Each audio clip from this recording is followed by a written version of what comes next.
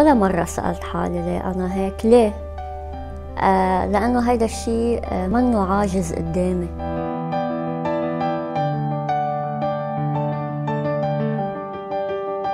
هاي واضح أنا زينب عمري 28 سنة من لبنان. آه بشتغل بشركة ستاتستيك للدعايات 8 سنين.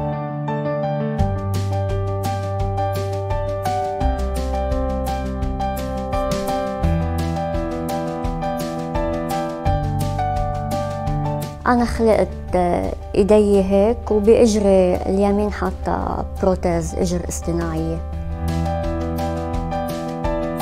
وعيت أنا هيك تقبلت حالي مثل ما أنا ولقيت حالي مني لوحدي إني عم بلبس عم باكل عم بعم حط make up عم بعمل أي شيء آه، لوحدي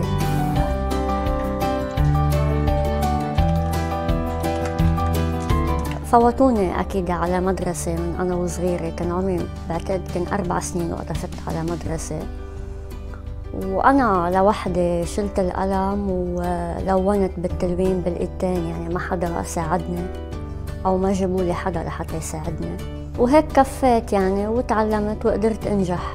درست وصلت أنا لل terminale وما قدرت كفي بسبب الظروف المادية. فقدمت على مؤسسة بتساعد الاحتياجات الخاصة. وهن لقوا لي شغل اللي عم بشتغله أنا هلأ. وأكيد يعني أول ما قدمت على الشغل كنت عتلاني هم لأنه كنت أول مرة بشتغل وبعدني فيه لهلأ يعني. بس إنه هيك step by step والاتكال على الله أهم شيء لحتى وصلت لهون. أكثر شيء الصعوبات اللي بعانيها هو البلد أكثر شيء اللي عايشين فيه إنه آه، ما في حقوق للإحتياجات الخاصة. لحتى أقدر طور حالي أكثر وأوصل للي أنا بدي إياه.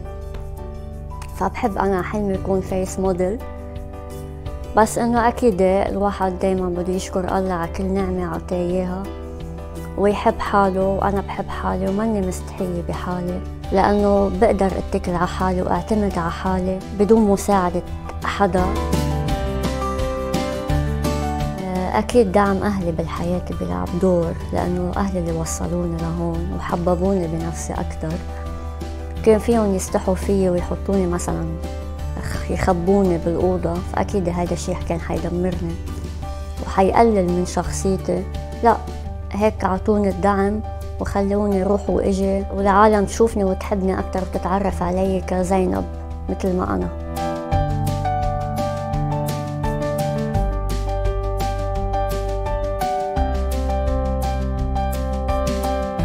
لا ليه نحن بدنا نستحي بولادنا؟ هيدي خلقة الله.